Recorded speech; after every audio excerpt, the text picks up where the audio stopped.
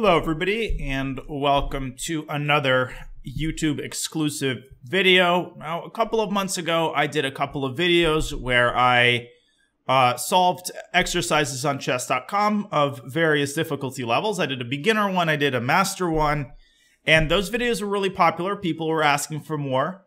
Uh, and so I've listened, and so I want to make another video where I, I solve, you know, right about five to 10 uh, intermediate level chess exercises. And uh, as in the previous videos, I'll talk uh, in a lot of detail through my solution and through my process of thinking, and, and hopefully give you as many insights as possible that can be applied when you're solving exercises. And ultimately, why do you even solve exercises so that you can find these tactics over the board? Uh, so without further ado, let's let's jump in. Okay. So we have here our first exercise with black to play, and I've set the, the rating range on chess.com to be 1800 to 2200, so right about intermediate puzzles. All right, so what's going on here? Well, first thing that I see, okay, so it seems like material is, now black is down a pawn, as white has sort of a four on three going here, but that's not very significant. Um, and white's just played g4, which attacks the bishop. So anytime a pawn is pushed, I think a lot of people forget that uh, chess.com exercises give you the previous move, and that can act as a pretty big hint, right? So anytime a pawn is pushed, there's going to be other pawns, there's going to be squares that are weakened, and so the first thing that I see is this f3 pawn, which uh, which has been left alone, and and so it's worth asking uh, what happens if we take that pawn with the knight. Well, we take that pawn with the knight, we attack white's queen. And if white's queen moves, then everything is easy. Knight takes f3, let's say queen f2. Well, we can just take that uh, knight with our bishop and simultaneously defend the knight that's going to land on f3. But if we look carefully after knight takes f3, white also has the move g takes f5, and that's quite a bit more testing because uh, white counterattacks black's queen. And that leads to a situation where both of the queens are hanging. And I talk about the situation a lot in my lessons. Whenever both queens are hanging, the first thing that you should look for is whether you can move your queen away with check. Uh, and that should be perfectly logical, assuming your opponent has to defend against the check and is not able to cover that check with his own queen and evade the attack, then you're going to be able to take his queen on the next move. So let's look for any such checks. Knight takes f3 gf. Well, we can't check on g5 because white's knight controls that square, but we can step aside to h6. And what's very important about that is that white cannot block with the queen. I mean, he can, but both e3 and d2 are protected by black's queen and knight respectively. So I think we can go ahead and take. And the crucial move here is queen h6 check. And if you don't see a check, the second thing you should look for is a desperado sacrifice, and I've talked about that in, in previous videos as well where you essentially give up your queen for as much material as you can, uh, and and then take your opponent's queen. Simple enough. All right. So what's happening? What's happening here? Um. Okay. Well. First thing that I see is that both kings are on the back rank, and both sides have a huge back rank weakness. White is threatening checkmate in one. And if we give a check on a1, white's going to cover with the knight. So this isn't just a mate in one problem. The other thing that I see is that our knight is hanging. So there's quite a bit going on, even though there's not a lot of pieces on the board. Um, so how would I even approach this position? Well, you know, I would start by just uh, surveying and kind of understanding uh, potential tactical ideas that you could apply and then putting together a sequence that will involve defending against the back rank mate and then perhaps exploiting our uh, ability to deliver a back rank check. So one thing that I notice here is that in a, some positions you can give knight take knight e2 check. I mean, obviously not here because white just takes that. But if white's queen is warded away from g4, this check could be quite scary because it could potentially send the king back to h1, and if you if you think about that, then queen a1 is going to be made because white can't really cover with the knight. Now, let's understand the order of operations. Preferably, we want to give this check when white already has a knight on f1, right? Because then uh, the king will not be able to move to f1. So it seems to make sense to start with queen a1 check. That forces knight f1. Now, what we need to do is simultaneously defend against the back rank mate and get the queen off of g4. Notice that our knight is defended after queen a1, so we don't have to worry about that. Now, do I see a way to do that? Okay, well, h5 comes to mind, but then the queen can just take on h5 and it's still defending e2. What about f5? That seems like a better move. f5 forces queen h5. So this is queen a1 check, knight f1, f5. The queen has to keep contact with the square. Queen h5 is forced. And then if you think along the same line, you'll see the move g6. And I just don't see any more squares on that diagonal where the queen can defend e2. I think we can go for that line. Check. And now, very important move f5. Okay, queen takes d4 is easy. But the point is that if queen h5, we go g6, and the queen can no longer uh, defend the e2 square, which basically leads to checkmate. All right, next problem. Ooh, this is an interesting one. So we're down a queen for a rook and a piece, and I guess also a pawn. But you should immediately notice the bishop on h6, which is uh, ideally placed, and clearly black once again has a back rank weakness. And when I when I say back rank weakness, I don't necessarily mean that black has pawns on f7, g7, and h7. This is also this also qualifies as a back rank weakness because white's controlling the g7 square. So if we got a rook to d8 or e8, it would be mate. Now immediately the move rook e1 comes to mind. What happens there? Well, if we go rook e1, um, I think black can, whoops, no, not rook c7. Black can drop the rook back to c8. Um, so it's not for, or black can also go f5 and, and create some luft for the king. So we, it seems we have to play in a more forcing manner. So the question is, can we somehow attack black's pieces? And, you know, one situation we could try to aim for is one where we skewer the queen. And if the queen moves, then we have uh, a back rank mate. Now, can we orchestrate that? Well, to do that, we'll need to get rid of the rook, so the move rook c1 comes to mind. So what happens after rook c1? Okay, so the bishop guards the rook, so black can't take the rook. Black has to move the queen to one of these squares.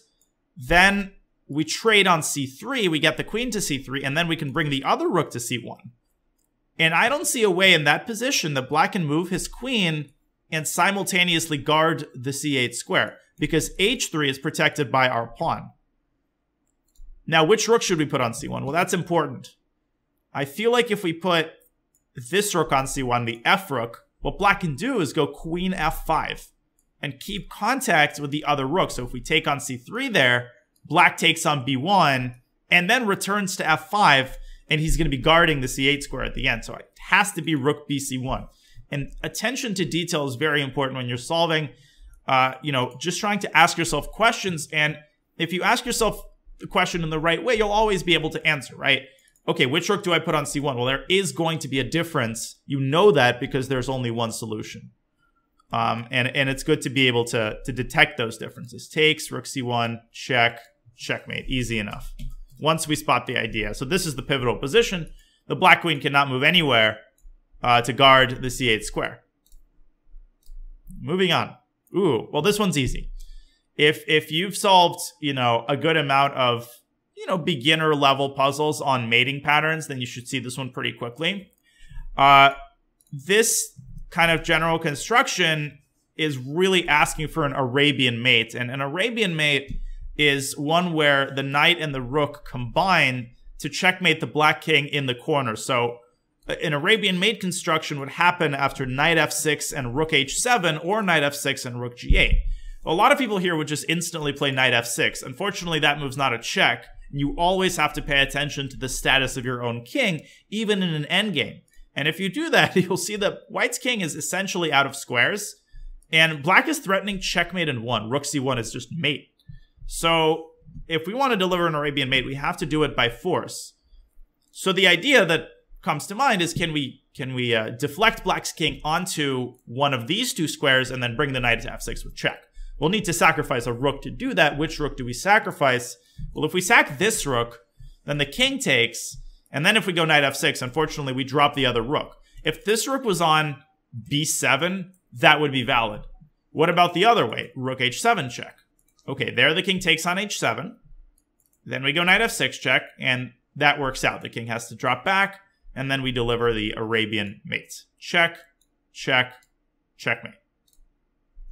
Oh, all right.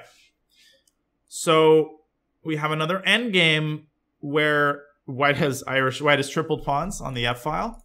I call them Irish pawns for reasons I will eventually reveal. And technically, I guess white is up two pawns. Uh, they're not the greatest pawns. Uh, what else do I see? Well, I see the X-ray uh, that the bishop is exerting on white's king, which means there's a potential discovery with the knight. The other thing that I see here is a standoff between the two rooks. And anytime there's a standoff combined with the discovered check, uh, you have to think in the direction of using the discovery to slice off uh, the connection between one of your opponent's pieces and the piece that's involved in the standoff. So here, the bishop on e4 is guarding the rook. Now, the longer the distance physically between two pieces that are guarding each other, such as the queen and the rook or the bishop and the rook, the greater uh, the likelihood that something is going to occur on the squares between those two pieces, right?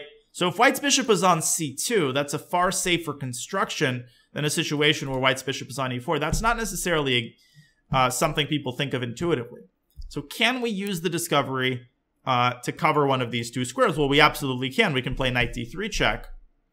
Um, we can play knight d3 check, and then once the king steps aside, uh, we take the rook on b1, and we're up in exchange, but that's not the end of the story because if you keep following that line, white's going to take our knight on d3. And remember, white has two pawns for the exchange, so we need to keep calculating there.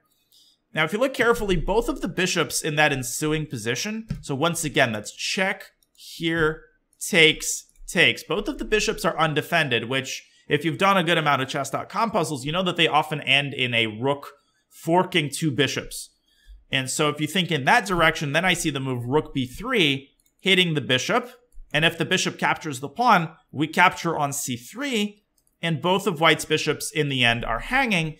And the scary thing about forking two bishops is that they cannot defend each other because they're on different colored squares. But that rook b3 move in the end is very important. So check, takes, you can't stop here because white's attacking the rook and white's attacking c5. Uh, and white technically has enough material for the exchange, so this is a very important move. Notice that the bishop is trapped. I mean, if the bishop drops back to c1, we take on c3 with the exact same effect. Okay, bishop b5, we take, and we just start mopping up uh, the rest of the pieces. Very good. Let's continue. Oh, this one's very nice, actually. Uh, so another endgame, we've got a lot of stuff going on here we have a pass pawn that's very far advanced, but it's currently being restrained by the bishop. Um, and I think the mistake a lot of people would make here is they would immediately start thinking about promoting the pawn. Can I promote the pawn? And then you'd be thinking, well, can I get white's bishop off of c3? But you don't have the enough pieces to do that. Just because you only have two or three pieces left doesn't mean you have to stop thinking about checkmate. You, you should never stop thinking about checkmate. You should always hunt for mating patterns, especially when uh, especially when you've got incredibly active pieces and when your opponent's king is pushed back to the first rank because there's physically less real estate. You know, the king just has two squares. Okay, so the first move that comes to mind is bishop b3 check. That's a pretty obvious candidate move. Let's see where that leads. Okay, so king e1 is forced. And then I see another check. Sorry, I see another check with this bishop. We can go bishop f2. Is that mate? No, it's definitely not mate. The king can step back to d2, and it seems like we haven't made. Uh, it seems like we haven't made good progress there, um, because we've, you know, it's actually quite counterproductive. So let's go back to the position after bishop b3 check, king e1. I've noticed something interesting, which is that after bishop f2 check, if the king had to go to f1, that's an incredibly vulnerable position to be in and the king will be on a light square, so that bishop on b3 could potentially be used as the checkmating piece. So what comes to mind after bishop b3, king e1? We need to somehow prevent the white king from getting access to the d2 square. Well, what if we push that pawn and give it away? Bishop has to take it, otherwise we promote. But wait a second, then we go bishop f2 check. Now the king has to go to f1, and what's more, we can return to c4 with our light squared bishop, and that is simply checkmate. That's a beautiful mating construction with two bishops. So boom. And I think there's a name for this when you essentially push a pawn or sacrifice a piece to cover up one of your opponent's escape squares. uh, it's a pretty typical tactical motif. So boom, boom, boom, and uh, we got it. Look at that mate. Beautiful. Next position. Okay, so this is going to be clearly one where we're just sort of trying to attack. Um, okay, material is equal. There doesn't seem to be too much going on. Our rook is currently hanging. What else can I say about this position? Well, it seems that Black's king is quite weak. We have this bishop on d4 that's x-raying the king. I'm pretty obsessed with x-rays because they're almost always going to be important. Uh, and the other thing that I noticed is just that these two pawns are incredibly powerful. If we get to push e6, that looks completely overwhelming. But if we delve a little deeper, I think I see what the problem is. Because if we move our rook just about anywhere, black's going to grab the pawn on f5 and destroy our uh, destroy our pawn phalanx, which is not something we want to allow. Uh, so, so, the, so can we put our rook anywhere to defend this pawn? Well, not really. I mean, we can go rook f4, but then the bishop is just going to take the rook, and it's even worse. So the move rook h4 comes to mind. Maybe we can pin the bishop and make something happen there. Rook h4, rook takes f5. Now, I mentioned earlier the x-ray against black's king, and it's not enough to just notice stuff. You also have to figure out, well, in, in under what circumstances can that be exploited to your advantage? How does this x-ray work? Well, in order to exploit the x-ray, we'll have to push the e-pawn at some point, right? So let's consider rook h4, rook takes f5, e6.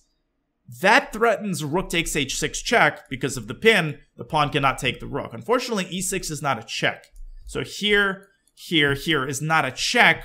Black has plenty of time. Black can even move the king aside to g8, uh, eliminating any problems with rook takes h6. But in these situations, you always want to check what happens if you switch the move order. If you have two moves that you're trying to make, in this case, it's e6 followed by rook takes h6. Automatic question, what happens if I make the second move first? What happens if you take the bishop first? Well, if you take the bishop first, black kind of has to take, then you push the pawn to e6, and something I said earlier is very important. Notice that the connection between the queen and the rook occupies four squares. If you put something in between, that rook on f5 is going to be left without a defender, which is exactly what happens. Rook h4, rook takes h6, and e6 severs the connection between the queen and the rook, and then we can simply pick up black's rook, and at the end we're just up a piece. Good. Okay. Oh, this is a pretty, I've had this one before. Um, this one so again, first thing I see is is tremendous pressure on Black's knight. It's being pressured by two different pieces. It's pinned. And uh, whenever there's a pinned piece, pinned pieces that are not protected by pawns are in significantly greater trouble uh, because you know they're a lot more tenuous. So first of all, what happens? Let, us get a sense of what's what's going on here. If we just take on f6, well, Black's going to take back, and I'm not really seeing where that's going, right? I mean, we can trade everything on f6 and then maybe we can take the h6 pawn, but I'm not convinced, right? That doesn't threaten anything. Uh, the solution to, to a chess.com puzzle is always going to be more convincing than just like, oh, you know, you equal material and you've got a, an open-ended attack. So we'll have to involve some other factor uh, in this position. What else do I notice? Well, I've noticed the bishop on a2 x-raying the pawn on f7. Uh, but that doesn't mean just because you notice something doesn't mean it's necessarily going to be applied. The other thing that I see is the fact that the white rook has uh, the open file. And open files can be very scary in conjunction with things like pins. And just me saying that should already kind of make you see the solution. What we can do is we can play bishop takes f6, and then we can use the rook as a decoy. We can play rook e8 check, forking the queen and the king. That forces the queen to take, and then our knight from d5 takes that bishop on f6, which is now a fork against black's queen, which is of course now on e8. How did I see that? Well, that's a pattern that you should notice anytime there's a knight on d5 like this, and you know there's a possibility of that knight jumping somewhere. Uh, eh, you know, and your opponent's queen is in the vicinity. You have to look at ways that you can use your other pieces uh, to deflect the queen onto a, a forkable square. That's just something you got to sort of check for. So bishop takes f6. Of course, not. You can't do the same thing with knight takes f6 because then you won't have a knight to fork with. Boom. And you also can't go rook e8 first. because if you go rook e8 and then bishop takes f6, black is under no obligation uh, to take on f6. Black can just ignore, and, and then we're not going to have anything to show for it.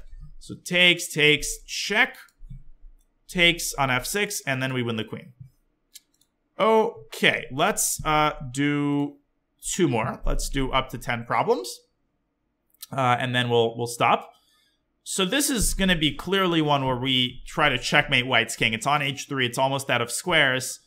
Uh, and we're also down a rook, so I just don't see this happening any other way. Uh, we can give a perpetual here. Notice that you can play queen g4, and then after king g2, you can go back to e2 with the queen. Uh, but let's look for more. Are there any other checks in this position? Yes, there are. There's queen f1. Is that mate? No, it's not mate because the bishop can drop back to g2. But one thing a lot of people struggle with in the realm of visualization is it's very easy to forget that when a piece moves away from a square, a square that it was previously defending is now, of course, undefended. It sounds simple when I say it, but when you're calculating a longer line, try to make sure that you're not uh, seeing phantom pieces, that you're really, really making sure to, to notice, okay, the bishop has moved away from e4. So whatever squares it was defending there, it's no longer defending. And one of those squares is f5. We can go queen back to f5, and that's just checkmate. g4, queen takes g4, and that's easy enough. Boom, boom, boom. All right, last one. Ooh, another one where there's quite a bit going on. This is sort of a early middle game. And my eyes are just drawn to like this. Like there's a lot there. There's also a pin, by the way. That's just important to point out. But the, the pawn on b2 is guarding the knight. So the pin doesn't seem to be uh, the reason that we're going to win this game.